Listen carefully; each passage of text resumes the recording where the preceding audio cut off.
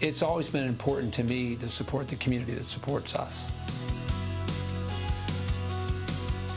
The Massey Cancer Center has always been a hallmark of, of our philanthropic efforts, and that was born out of the passing of, of one of our uh, employees, Vern Boshin, uh, back in 1999. Well, I'm very proud of, of all of our agents because so many are involved in, in, things that are near and dear to them. Uh, one of them is example, Backpacks of Love.